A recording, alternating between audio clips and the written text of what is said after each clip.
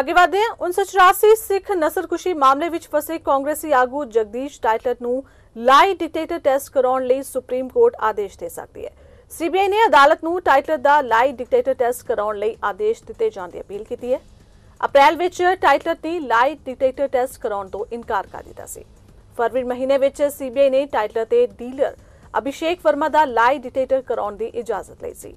ਅਦਾਲਤ ਨੇ ਟਾਈਟਲ ਨੂੰ ਸਿੱਖ ਨਸਲਕੁਸ਼ੀ ਮਾਮਲੇ ਵਿੱਚ ਕਲੀਨ ਚਿੱਟ ਦੇ ਦਿੱਤੀ ਸੀ, ਪਰ ਵਰਮਾ ਦੀ ਅਪੀਲ ਤੇ 4 ਦਸੰਬਰ 2015 ਨੂੰ ਟਾਈਟਲ ਖਿਲਾਫ ਮੁੜ ਤੋਂ ਕੇਸ ਖੋਲ੍ਹਿਆ ਗਿਆ। ਹੁਣ ਸੀਬੀਆਈ ਦੀ ਅਪੀਲ ਤੇ ਜੇ ਸੁਪਰੀਮ ਕੋਰਟ ਟਾਈਟਲ ਦੇ ਲਾਈ ਡਿਟੇਟਰ ਟੈਸਟ ਦੇ ਆਦੇਸ਼ ਦਿੰਦੀ ਹੈ, ਤਾਂ ਟਾਈਟਲ ਨੂੰ ਇਹ ਟੈਸਟ ਕਰਾਉਣਾ ਹੀ ਹੋਏਗਾ।